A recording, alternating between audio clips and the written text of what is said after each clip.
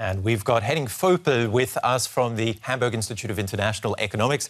Mr. Vöpel, would you also describe Turkey as a dependable business partner? Yeah, I would do so because Turkey is still, from a strategic point, very important and interesting economy, and uh, Turkey is well integrated into global cross-border supply chains.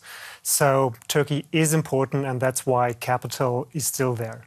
Why the knee-jerk reaction, though? Money being pulled out all of a sudden, and then uh, a month later being reinvested. Yeah. So capital is is the most mobile factor of production much more mobile than than labor. So that's why financial markets are a good predictor or indicator for the political and economic situation in the economy. So that's why there was a was a withdrawal of capital and now we have a reversal back capital back to back to Turkey.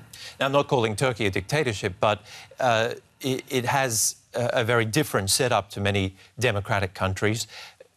What, what does it mean for investors? Uh, uh, a democracy is a democracy a safer place to do business because it's a, a, a looser place politically, I guess, or, or, or, is a near dictatorship or a dictatorship uh, a safer place? Actually, it's it's stability that matters for, for investors to, to decide where to place investments or portfolio investments. We have to distinguish between portfolio investments, short-term capital, and long-term capital, FDI, foreign direct investments. So different kind of reasons to, to go into a country.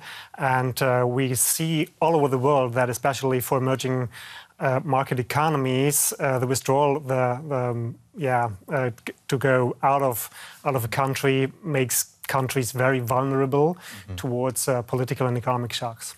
What about the lira? It fell by seven percent after the coup attempt. If you compare that to the Brexit, uh, the pound fell a lot more than that. What, what does that tell us?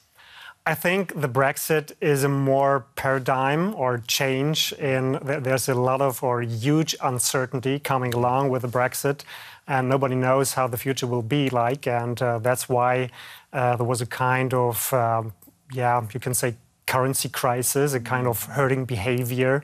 So be the first out of the market. So all up, would you say that money has no conscience? Yeah, I would say so. And uh, we, we live in a world, or a, we have a world economy with a lot of crisis, and it's an it's in disorder. It's a feeling like the world is in disorder, and that's uh, then the question comes up: Where is your capital, where investment safe, and uh, you you're looking for stability rather than for democracy or freedom. Well, stability isn't something that Europe can offer at the moment. There, it's one crisis after the next, even terror attacks. Um, what makes investors keep coming back to Europe then? Well, there was a disappointment uh, given the high expectations uh, with regard to emerging market economies. Now we have uh, a situation where capital is going back to, to the more developed economies like the US, like, like Europe, where um, the, the conditions, the circumstances are more stable, and that's why we have a we have a um, yeah a capital back from the emerging market economies back to back to the more developed economies. Thank you, Thank you very much for coming in today. Welcome.